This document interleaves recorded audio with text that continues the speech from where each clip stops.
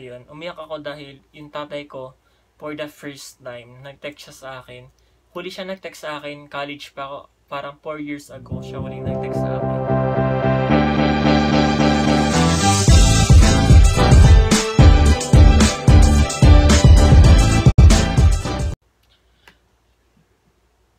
What's up mga kanaria First Idolo? Welcome back to my channel.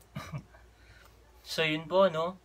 Uh, for today's video, uh, magkakaroon tayo ng inuman session. Ayan po. Uh, medyo kanina pa po ako nagiinom mag-isa. Siyempre, mag-isa lang ako dito. Nagiinom pa na ako kanina mag-isa dito and medyo nahihilo na ako. And hindi lang inuman session ang mangyayari magkakaroon din tayo ng mm, Q&A sa Golden Lata. Q&A sa Golden Lata. Actually, nagtanong ako sa Facebook or sa, and sa Instagram na pwedeng mga tanong pero wala naman nagtanong sa akin. Pero wala naman nagtanong sa akin. Pero wala naman nagtanong sa akin.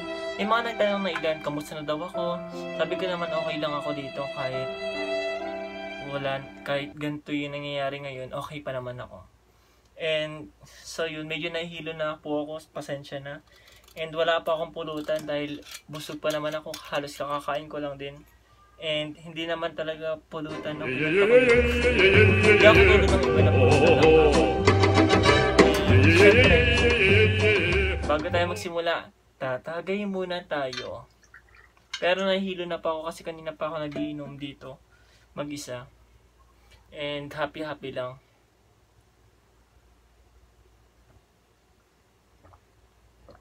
Oh my God. Ang iniinom ko nga pala ay sasa. Alam niyo ba ba yung sasa? Yung sasa ay gawa sa niyog. Ito yung pag sinindihan nyo, talagang lumiliyab. Yung kada inom nyo, gumuguwit siya dito, tas nainit dito sa dibdib. Ganun yung pakiramdam kapag umiinom nito. Pero binigay ito sa akin, isang taon na nakakalipas. Lampas isang taon na. Kaya yun, parang kaya ang sarap-sarap niya. Pero nakakahilo talaga kada tagay. Pero sisimulan na natin ang ating mga katanungan. Pero itong mga advance sa, ah, advance, advice sa buhay. Sorry. Ayan. Umpisahan ko na po. Unang katanungan.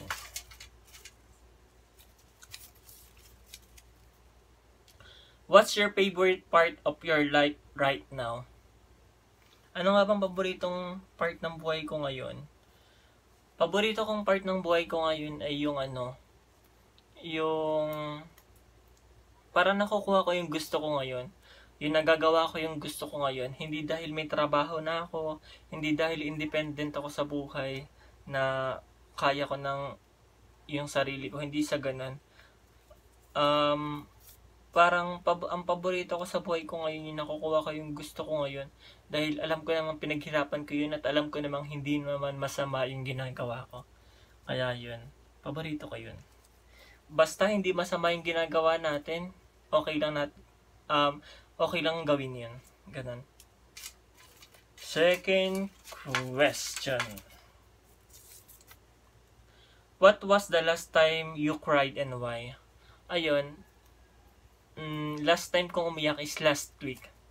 Hindi dahil sa love life, dahil sa sa magulang. Ayun, umiyak ako dahil yung tatay ko, for the first time, nag-text siya sa akin. Huli siya nag-text sa akin, college pa ako, parang 4 years ago siya huling nag-text sa akin. And sobrang laki kasi ng problema nga namin ngayon sa pamilya. And last week, nag-text siya sa akin habang nasa office ako. Then, umiyak ako kahit ako lang mag-isa dun. And ayaw ko makita nila na umiyak ako. Dahil tinext niya ako. Una tumawag siya sa akin. Tapos pinatay niya. Then, tinext ko siya. Tinext ko siya kung sino siya. Then sabi niya, ang tatay to. Tapos, sabi niya sa first time niya akong tawagin na anak sa text. First time niyang sabihin na umuwi ka na kasi namimiss ka na namin. Ayun. First time niyang sabihin na I love you anak. Ganun. And yun. Parang iyak talaga ako ng patago. And sobrang sarap sa pakiramdam dito. So, kahit dati ang sakit, pero ngayon medyo okay na. And hopefully, sana tuloy-tuloy na maging maayos ang family namin. Kasi nga, ayaw ko rin naman na masira yung pamilya namin. Third question. Are you currently happy with your life? Are you currently happy with your life? Oo naman, masaya ako sa buhay ko ngayon. And walang rason para hindi maging masaya sa buhay. Despite na marami tayong problema na nangyayari sa atin, hindi natin kailangan na hindi tayo maging masaya. Bakit? Kasi nga, mahirap na nga ang buhay, papalungkotin pa natin. Kailangan natin maging matatag kung ano man yung mga kinakaharap natin ngayon. And masaya ako kahit dati nagka-problema kami hanggang ngayon. And masaya ako palagi dahil unti-unti naman yung masusolusyonan. Dahil dyan, tatagay tayo. Magpapakal... Oops! Sorry. Magkapakalasing tayo. Ting! Joke lang, hindi tayo magkapakalasing. Ayaw akong magpakalasing. Tagay. Run.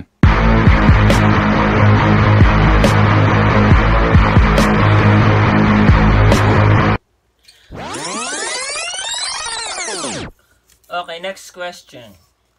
Have you ever won an award? Have you ever won an award? Nung high school, nananalo naman ako ng mga award. Marami din naman ako nung high school na napalalunan. Pero ang pinakang award ko talaga, best award ko, nananalo ako. Siyempre, nakapagtapos ako ng pag-aaral at naka, nagkaroon ako ng trabaho para um, makabawi naman ako sa mga pinaghirapan ng magulang ko. At ayun naman talaga yung goal ko ngayon yung kahit nahihirapan ako sa trabaho, ang importante, nasusukulian ko lahat ng mga pinaghirapan nila para sa akin. And, ay naman yung goal ng bawat anak sa kanilang magulang. Yung, to give them back what they did for, para sa akin. Yung what they did for me, ganun.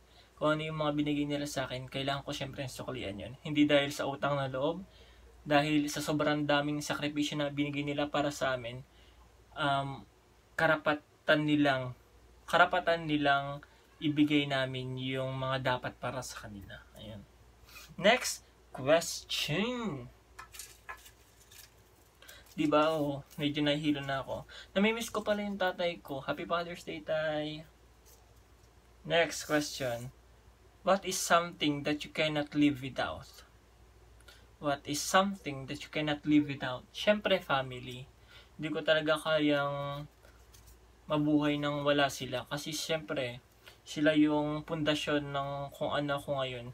Sila yung dahilan kung bakit nagsisikap ako ngayon.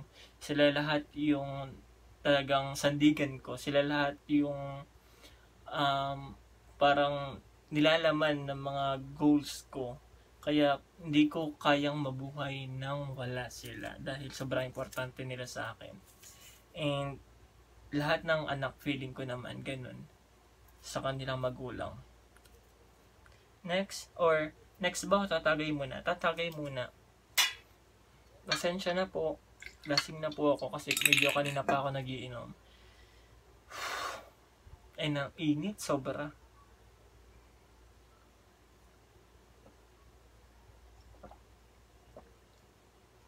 Whew. Next question. Are you comfortable in your own skin? Are you comfortable in your own skin? Sabi ko dun sa last vlog ko, ayun, yung about, ano, um, what do you call this one? Um, kung paano i-handle yung mga in, yung mga insecurities and flaws natin. Ako, okay na ako sa kung ano kung ngayon, kung ka, ganito, kung ganito na lang ako kapangit. Okay na ako doon dahil tanggap ko kung ano na lang ako ngayon and umaasa na lang ako na someday maging maayos din syempre yung itsura ko. And hindi ko kailangan mag magpareto kay mga ganun-ganun dahil wala naman din akong pampaganon. Daan sa dasal, ganun. And at least na-overcome ko yung mga ano ko, yung mga insecurities and plus ko lalo sa itsura ko dahil ganito nga yung balat ko, ang pangit importante yun sa bawat isa na i-conquer yung mga plus natin sa insecurities. Next. Sorry, lasing na ako. What part of your life do you miss the most? Ano nga ba?